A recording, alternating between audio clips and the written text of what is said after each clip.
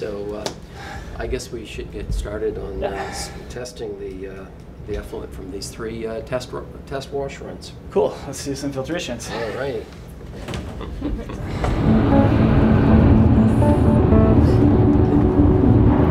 Well, today we're going to the wastewater treatment plant uh, where there is a research center as we uh, explore the topic of microplastic pollution and try to figure out the extent to which our own homes are releasing microplastics uh, into the ocean. The world's oceans are full of plastic, and the more we look, the more we find that they're full of microplastic. I just want to check up on the uh, that filter uh, contraption and see how it's working for you.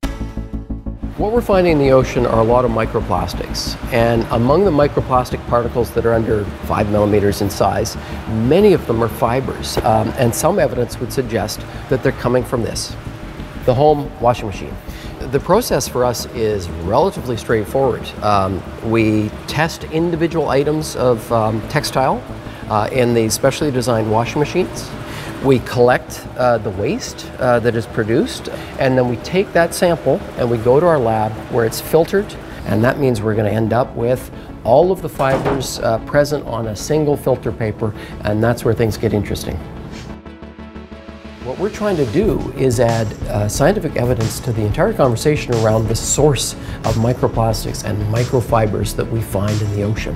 Are they coming from textiles? Are they coming from home laundry? And are they getting through wastewater treatment plants?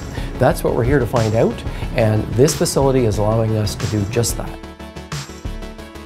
As we speak, different species are ingesting plastic. They're mistaking plastic for food. This includes shellfish, crabs, corals, zooplankton, baby fish, seabirds. A lot of different species are currently, today, ingesting plastic the world over. It's vital that we understand what those plastic particles are, are comprised of and where they're coming from. And where they're coming from is the line of evidence that we need in order to design better practices and turn off the tap.